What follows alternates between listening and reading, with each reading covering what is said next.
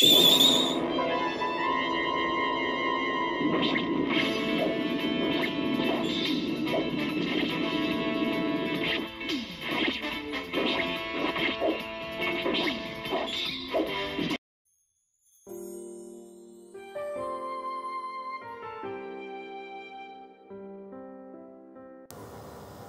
つもご視聴ありがとうございます。鬼平チャンネルでございます。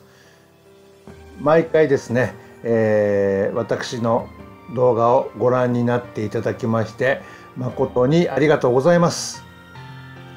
さてですね、えー、今年の正月にですね、えー、いよいよ待ちに待った松本幸四郎版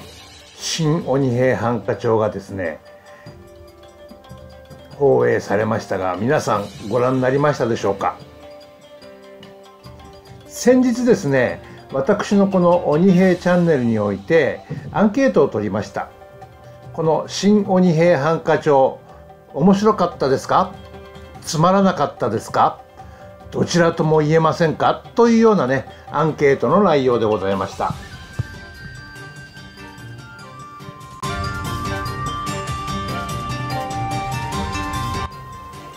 たくさんのね視聴者の皆様からですね投票をいただきましてご覧のような結果になりました。これのねこのデータは、え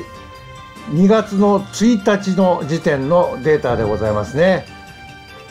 面白かったというところに投票された方が57%面白くなかったっていうところに投票された方が21%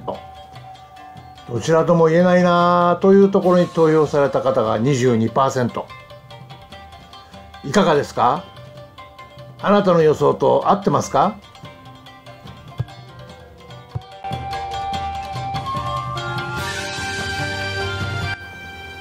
さすがにですね過半数以上の数字を投票を占めました、えー、面白かった57%まあこれはね当然の結果かと思いますけれどもまあその中でですね一方21%の方は面白くなかったという評価をこの新しい鬼平に与えてるわけですね。ただですねまあ大河ドラマもそうですけれども朝の連続テレビ小説もそうですけれども例えば連続テレビ小説の場合は最初のですね2週間は我慢の週。大河ドラマで言えばね最初の1ヶ月間は我慢の週。そこを乗り越えてですねじわりじわりとこう数字を上げていくっていうのがですね人気のある作品のですねまあ視聴率の上がり方というふうにね考えてはいるんです。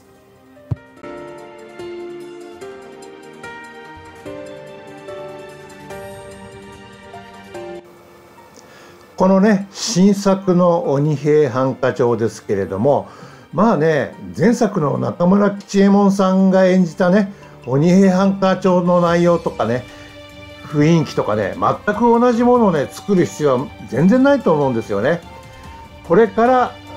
甥っ子の松本幸四郎さんが新しい鬼平犯科帳長谷川平蔵のですね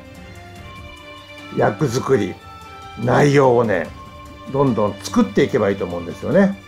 全くね同じものだったらこれ全然面白くないと思いますよですからねまだまだ若い松本幸四郎さんまあ年齢的にはねもう40超えてますけれども今後のね松本幸四郎さんのねこの鬼平犯科帳長谷川平蔵この役柄をねどのように演じていくのかというところにですね非常にね期待が持てるわけですね。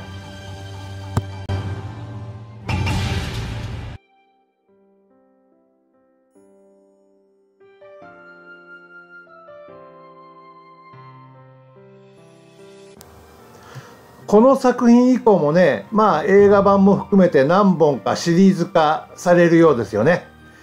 まあその都度新しいですね、まあ密偵が登場したりとか、いろんなキャラクターが出てきたりとか、ということになるわけでしょうけれども、今後ですね、さらにこのシリーズを続けていただくためにですね、新たなる鬼平像鬼平犯科帳像を作るということでですね、もっとですね、いろんなね、ゲストもうこの新鬼平犯科帳にね登場させるのはどうかと思うんですよね。まあパッと言ってじゃあ誰がどれをやれなんていうのはねすぐさま浮かばないんですけれどもやはりねこのシリーズはね5本映画1本、えー、地上波2本3本のね作品に終わらせるのは非常にもったいないと思うんですよね。昨今の時代劇っていうのが全くなくなっちゃったもんですから私はねこの「新鬼平犯科帳」増本幸四郎版にね、えー、大変大きな期待を寄せているわけでございます。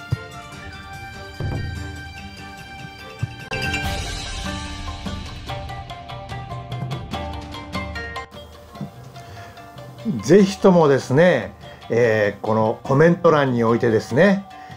この作品をね映像化してほしいあの作品を取り入れてほしいというようなね、えー、そういうもしリクエストとかがあればねどんどんどんどんコメント欄に書いていただきたいと思います。今回はね本庄桜屋敷というような番組内容のものでしたけれどもまだまだね名作がたくさんありますよね。ですからね皆さんがね是非これを映像化してほしい新しい鬼兵に演じてほしいというものがあればねどんどんねコメント欄に書いていただけるとね嬉しいですもしかしたらですね制作陣もこのチャンネルを見てるかもしれないので皆様のご意見を取り入れてですね新しい作品がバンバンバンバン今後ね出てくるかもしれませんよ。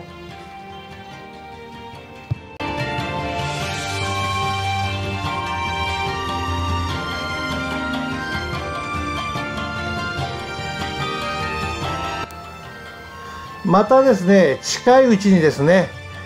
アンケートコミュニティのねページにてですねアンケートを行いたいと思いますので是非ともね皆様アンケートご協力のほどよろしくお願いします。どんな質問をするかというのはねまだ内緒でございますけれどもね。はい是非ともアンケート投票の方よろしくお願いいたします。今後もですねまあ、鬼平チャンネルをはじめ、えー、中村翔太郎先生の作品ですね。雲霧仁左衛門、見客商売、その他時代劇に関することをね、どんどんどんどんアップロードしていきたいと思いますので、今後ともぜひともよろしくお願いいたします。チャンネル登録よろしくお願いいたします。あなたのチャンネル登録は私の動画制作の励みになります。はい、それではね、次回の鬼平チャンネルでお会いいたしましょう。本日もご視聴くださりありがとうございました。それでは失礼いたします。